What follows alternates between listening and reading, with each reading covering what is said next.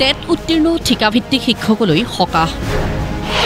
চাকৰি নিয়মীয়াকৰণৰ বাবে চৰকাৰে গ্ৰহণ কৰা একপক্ষীয় সিদ্ধান্তত উচ্চ ন্যায়ালয়ৰ স্থগিতাদেশ।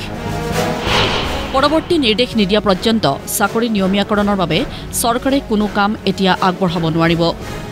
ৰাজ্যৰ প্ৰায় পঁচিছ হাজাৰ টেট উত্তীৰ্ণ ঠিকাভিত্তিক শিক্ষকে একত্ৰিতভাৱে দাখিল কৰা এখন লেখ আবেদনৰ শুনানি গ্ৰহণ কৰি সোমবাৰে গুৱাহাটী উচ্চ ন্যায়ালয়ে এই নিৰ্দেশ দিয়ে। অকল টকা পইচাই নহয় আৰ্থিকভাৱে নহয় সকলো ফালৰ পৰা। আমাৰ ছুটি বা আমাৰ যিবিলাক জমা আছিল লিপ চিপবিলাক জমা আছে সেইবিলাক সকলো হেৰুৱাব লাগিব জ্যেষ্ঠতা হেৰুৱাব লাগিব। আৰু আজি আদালতত আমাৰ যিটো সকলো শিক্ষকৰে আমি যিটো গোচৰ ৰুজু কৰিছিলোঁ তাৰে প্ৰথম শুনানি হৈছিলে। আৰু প্ৰথম শুনানিতে বৰ্তমান যিখন অপশ্যন ব্যৱস্থা সেই অপশ্যন ব্যৱস্থাটো সদ্যহতে স্থগিত ৰাখিছে আৰু কাইলৈ আকৌ হিয়াৰিং হ'ব আমাৰ। ইয়াৰ আগতো এটা কেছ আছিলে মানে ইণ্ডিভিজুৱেলি কৰিছিলে কেইটামান সেইটোৰ লগত কালি আকৌ এটা হিয়াৰিং আছে শুনানি হ'ব।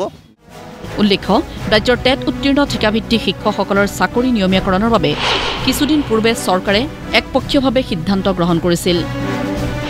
সেই অনুসৰি ত্ৰিছ জানুৱাৰীৰ ভিতৰত শিক্ষকসকলক নিয়মীয়াকৰণৰ আবেদন দাখিল কৰিবলৈ নিৰ্দেশ দিছিল। বিগত দহ বাৰ বছৰৰ অভিজ্ঞতা আৰু জ্যেষ্ঠতা একাষৰীয়া কৰি তেওঁলোকক সম্পূৰ্ণ নতুনকৈ নিযুক্তিৰ ব্যৱস্থা কৰা হৈছিল। চৰকাৰৰ যিটো শেহতীয়া যিটো নটিফিকেশ্যন আছিলে চলিত বৰ্ষৰ জানুৱাৰী মাহৰ ত্ৰিছ তাৰিখৰ ভিতৰত আমি সেই অপশ্যন পদ্ধতি চিলেকশ্যন কৰি দিব লাগিব। যে য'ত আমি নিয়মীয়া হ'ম নে ঠিকাভিত্তিক হিচাপে ৰৈ যাম সেইটো আমি আমি নিৰ্ধাৰণ কৰি দিব লাগে। আমি কৈছোঁ যে আমি কিয় নিৰ্ধাৰণ কৰি দিম আমি নিৰ্ধাৰণ কৰি নিদিওঁ। আমাৰ যিহেতু দাবীয়ে আছিলে যে বেতন সংখ্যা নিয়মীয়াকৰণ আৰু সেয়া আমাৰ প্ৰাপ্য গতিকে আপোনালোকে কোনো চৰ্তবিহীনভাৱে নিয়মীয়াকৰণ কৰক। ইফালে ঠিকাভিত্তিক শিক্ষকসকলক বেতন সুৰক্ষাসহ বিনা চৰ্তে নিয়মীয়াকৰণৰ দাবীত ৰাজ্যজুৰি প্ৰতিবাদ অব্যাহত ৰাখিছে।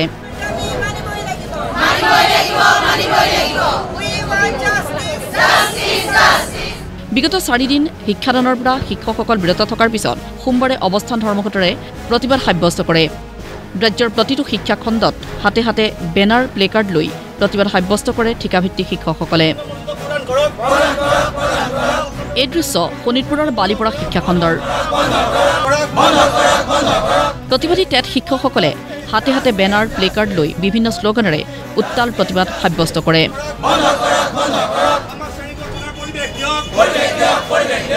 একেই দৃশ্য তেজপুৰৰ গাভৰু শিক্ষাখণ্ডতো।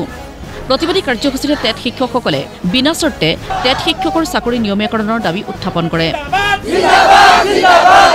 এতিয়া এনেকুৱা হৈছে কিছুমান বিদ্যালয়ত আমিহে পঢ়া ল'ৰা ছোৱালী আহি পেলাই সেইখন বিদ্যালয়তে ৰেগুলাৰ পষ্টত আহি পেলাই ৰিচেণ্টলি জইন কৰিছে। তেওঁলোকৰ পৰা আমি জুনিয়ৰ হৈ যাম। বাৰ বছৰ চাকৰি কৰাৰ পাছত। আৰু এই দৃশ্য ৰহাৰ কপিলী শিক্ষাখণ্ডৰ। প্ৰায় অৰ্ধ শতাধিক টেট শিক্ষকে বিনা চৰ্তে চাকৰি নিয়মীকৰণৰ দাবীত প্ৰতিবাদ সাব্যস্ত কৰে। আমি মানি ল'ব নোৱাৰোঁ। কিয় মানি ল'ব নোৱাৰোঁ? কাৰণ আমি দুহেজাৰ বাৰ চনৰ পৰা এটা ডিপাৰ্টমেণ্টত আমাৰ শিক্ষা বিভাগক আমি সেৱা আগবঢ়াই আহিছোঁ। গতিকে আমাৰ দহ বছৰৰ ছিনিয়ৰিটি আমাৰ সেই দহ বছৰ আমি সময় বিভাগক আমি দিছোঁ। গতিকে সেই সময়খিনি আমাৰ মূল্য আমি নিশ্চয় আমি বিচাৰিম।